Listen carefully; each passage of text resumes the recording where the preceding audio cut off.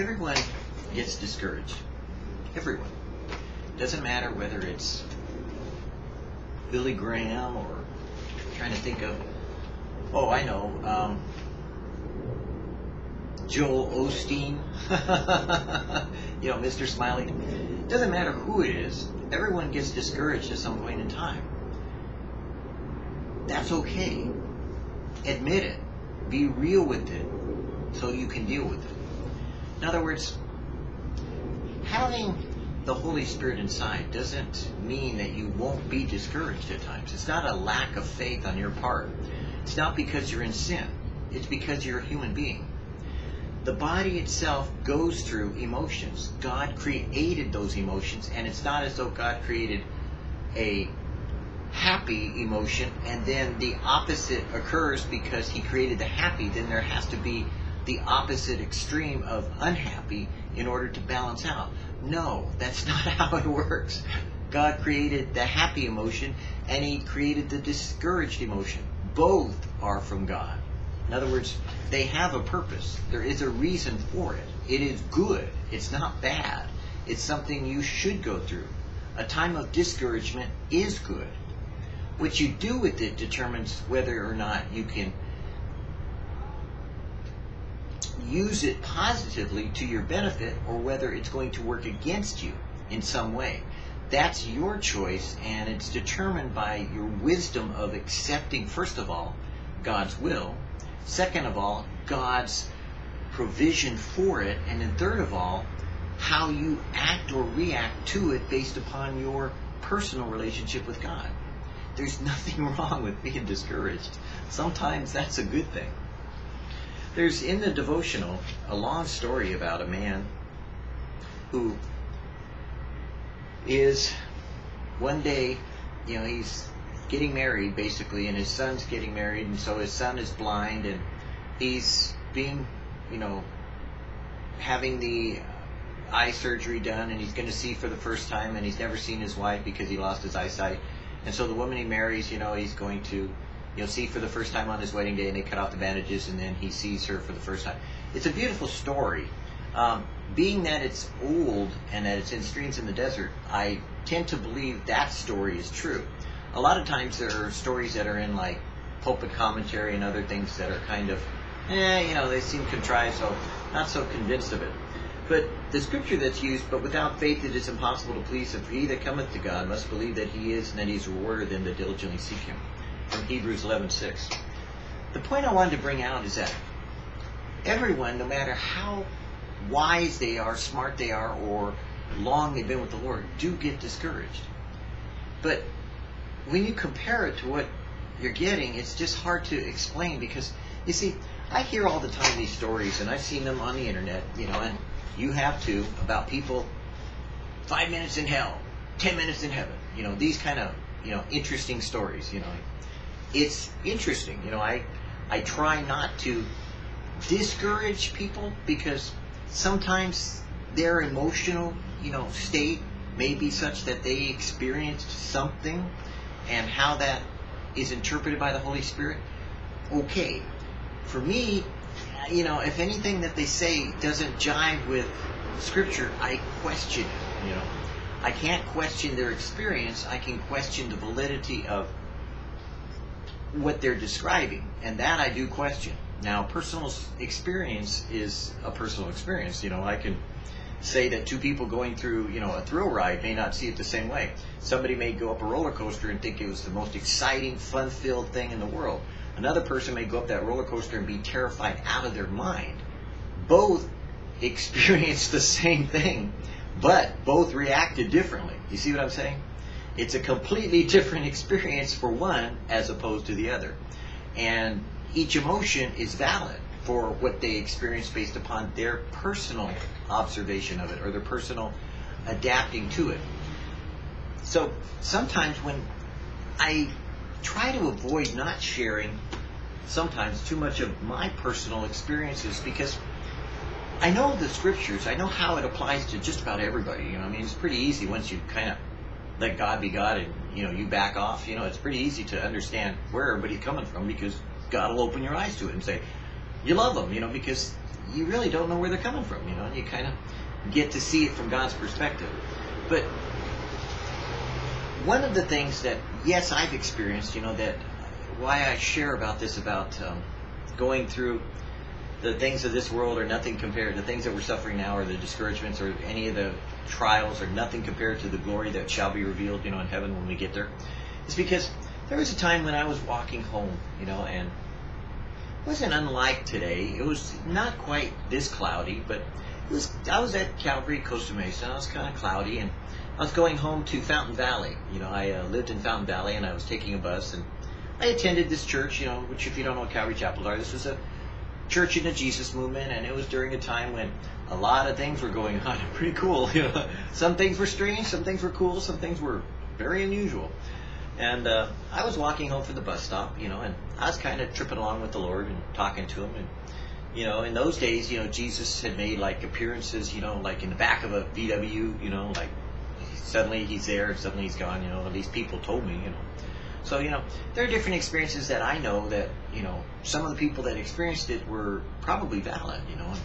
It was kind of like neat in the Jesus movement, you know, but nowadays you kind of wonder because they don't really quite describe it the same. It's kind of they're making money off it or something, you know. But anyways, the point being is that I was walking home and I was kind of, kind of talking to God, you know, and I was saying, you know, Father, I, I understand all this stuff that you know people experience, but you know, Lord, I just sometimes want to go home.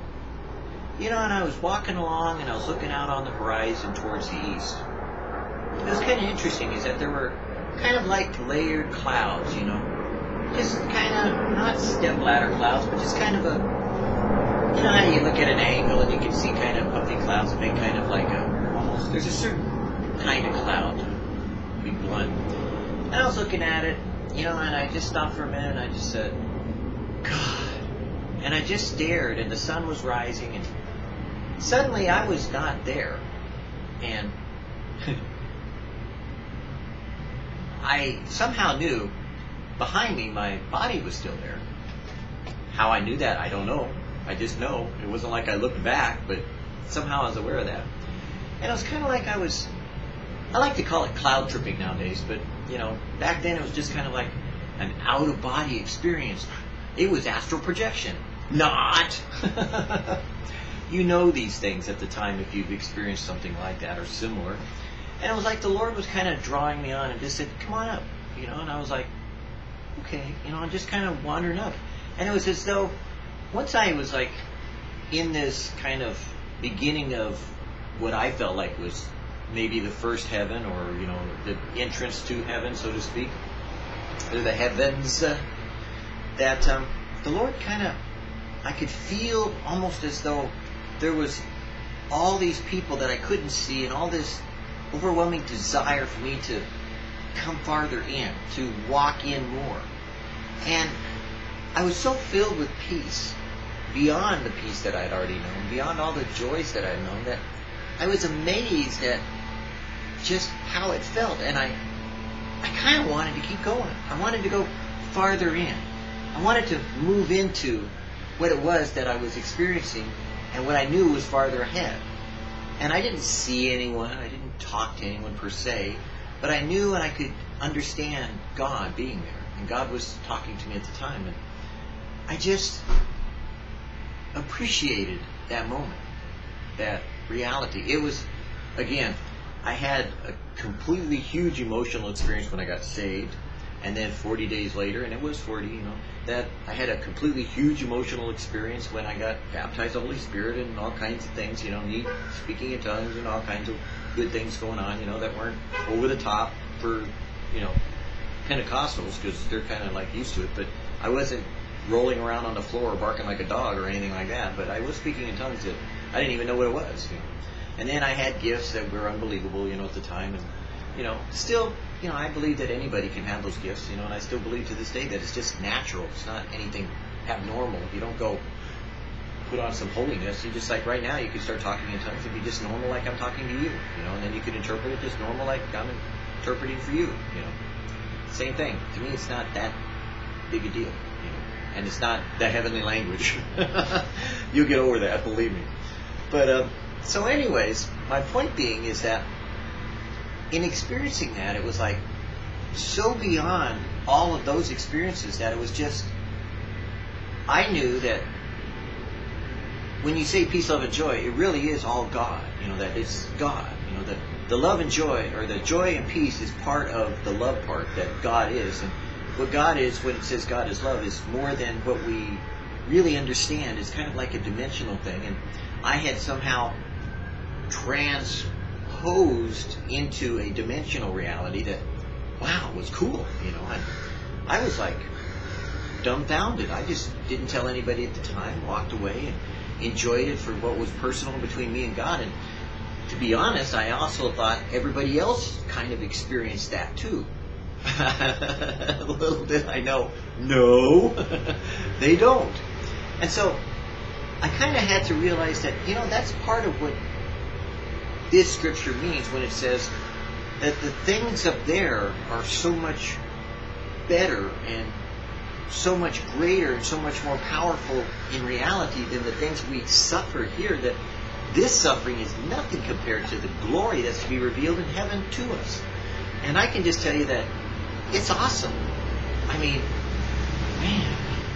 I mean, it's not like I was in a worship service. I wasn't singing or doing anything, you know, particularly holy. I was just coming home from a service, you know. It's kind of like bebopping, you know, talking to God, you know, just enjoying it. And I only share this now on this video, and I know video, I know once it's out there, you know, it's gone, and you know, you can't pull it back. But I don't like, you know, really people sharing those things if they have been to heaven or they have been, you know, they say to hell. I don't think anybody's been to hell. No offense. I think scriptures are pretty clear about that. But uh, or seen hell. I don't believe that either. Um, pardon me, but that's my opinion. I can stick with it and I can back it up scripturally. But anyways, but heaven, well, you know, Paul, you know, there's a lot more about where God wants us to be and preparing us for it that maybe you need to experience. Maybe in being discouraged, sometimes you need to be encouraged, you know. I know what I did by taking that experience and having it as a memory, I began to recognize that if I could encourage someone, you know, to get out of where they were at, you know, because sometimes they were so discouraged that they were just completely bummed, you know, that at rare moments I shared with them certain things, you know, that God and I have, you know, experienced together. it's kind of cool, you know. And um, that's why God said He spared my life was, you know, to you shall not die but declare the works of God, you know, that I've given to you, you know, blah blah blah, you know, yada yada it's a psalm, you know, so don't worry about it. It's not anything spiritual or super, you know, spiritual, not somebody special. No, it's a psalm. That's all, you know. But God spared my life and allowed me to experience a lot of things, and and I guess that's why sometimes don't worry about being discouraged, you know, because this isn't where you're supposed to be. And I so appreciate that song that tries to, you know, sing it out about this is not where I belong. I know that, you know, this is not my home, you know. And one day you'll go home. And so, if I could share with you a, a fact, there's nothing in this world that compares to what's going on up there. Nothing. I mean, there's no orgasmic experience, there's no drug, there's no peripheral physical sensation that will ever describe what it's like to have the reality of heaven in you or be there that ministers to your spirit that goes so far beyond anything that your flesh could ever imagine that you should even begin to whine about, you know, how long it's been or what we're going through. This is nothing. I mean, even the sufferings that I went through when I was in great suffering in the hospitals for 10 years is nothing compared to, oh, what you feel when you're there. I mean, it's awesome. it's just it's almost like, I guess part of you would say, man, you know, you, you like to say that you're complete because you feel a lot of peace and joy and, and, you know, that kind of fulfillment, you know, here. And you do. You really do. You know, I mean, if you if you're in Jesus, you know, there's time for you know you just feel, yeah, you know, cool, Lord. It's just like, yeah. But man, there it's like everything is I mean, expansive would be a good word. Expansive is a good word. it's like no boundaries. And that's all I can really say to you because even Paul said sometimes that to describe things that there would be sin, you know, to even attempt to. And he's right, you know, it just everything, every emotion, you know, well, peace, love, and joy, you know, I'll say that. Let's just stick with love. But anyways, the emotions of that peace and love are so expansive that they it just feels like it goes on and on and on and it just it's not a good way to describe it but to use the word expansive in every direction would be a better way to allocate a word for it because words don't describe it you don't you don't talk trust me you just experience you know and kind of like when john got there and said boom he's down you know because he was like in it. We wasn't like first heaven, second heaven, like there, you know. Presence of God, whoa, boom, down. You know, people are talking about presence. Don't get caught up into that. You know, I mean, there's a lot of religious talk of presence of God and this, that, and the other thing. Don't go there. You know, don't. You know, whatever's personal between you and God, keep it personal. Keep it, if you want to say sentimental or intimate, that's a better way of saying it. But some things are meant to be between you and He. And uh, man, there ain't nothing like it in the world. You got and are with God. It just makes all this temporary time worth it. You know, makes it kind of like can't wait to see what's going to happen next and how long will this last. It's like it's gonna last forever. yes yeah. and meanwhile, down here, you just go, oh man, you know, yeah, sure, you're discouraged, but it ain't gonna last forever. no, it's not. It's going bye bye, it won't take long. So, if you want to get out of being discouraged, go do something. I mean, I'll be honest with you, just go do something. That'll get you out of discouragement. You know, go tell somebody what God has done, you know, in the past, or listen to what they have to say about what God has done if that doesn't revive your spirit and give you hope, you know, whatever, then you know I, I used to remember I used to sing that song that said something about why art thou cast down and quieted within my why art thou cast down and quieted within me, O my soul? Fear not, for I shall yet praise him. So in the psalmist, you know, David or whoever was that was saying it at a time or singing it, he was saying that, you know, your soul will at times be disquieted and uncomfortable and discouraged or down. But don't worry. You shall yet praise him. And you don't need a song or earbuds to do that necessarily. Sometimes, you know, there's something more than worship. Because some people worship, worship. Sometimes just God himself will say, hey, I got a surprise for you today. And you'll just kind of look out on one of those clouds, you know, and you just kind of not imagine things. Because this isn't visualizing, you know, like some Tiger Woods thing or something.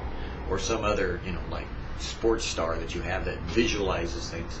No, this is experiencing. This is called God revealing things to you that you get to enjoy for your personal relationship.